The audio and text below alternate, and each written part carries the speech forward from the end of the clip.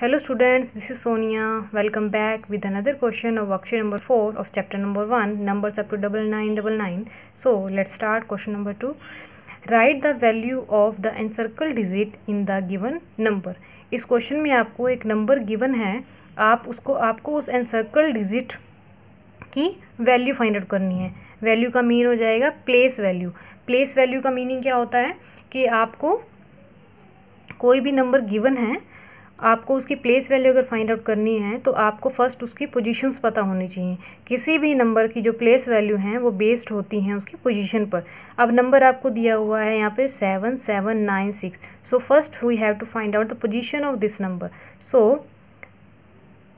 six at one place nine at tenth place seventh place will be hundred and this seventh place will be thousand so so, जो number हमें given है उसकी position क्या है? Seven thousand so seven thousand seven thousand आप इसको इस तरीके से भी कर सकते हैं। Seven multiply with one thousand जो हमने लास्ट वीडियो में किया था और आप इसे डायरेक्ट भी लिख सकते हैं।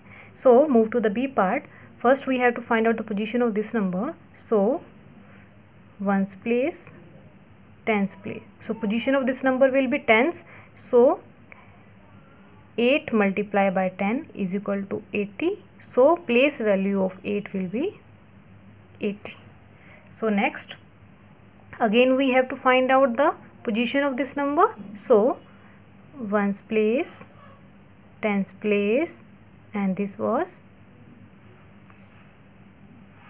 100 place.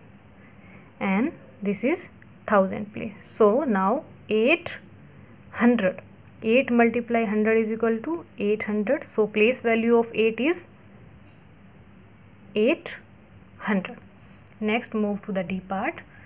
Now we have number 8943 first we have to find out the position of this one.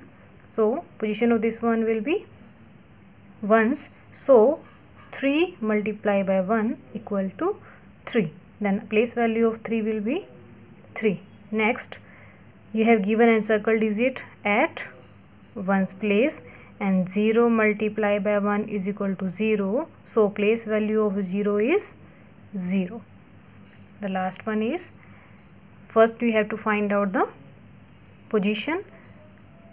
Ones place tens place hundred and thousand. So position of 5 will be 100 place. So 5 multiplied by 100 become 500 so place value for this 5 equal to 500 so student this was the question number 2 of worksheet number 4 of chapter number 1 numbers up to double nine double nine. Move watch my next video for more questions. Thank you and bye bye for now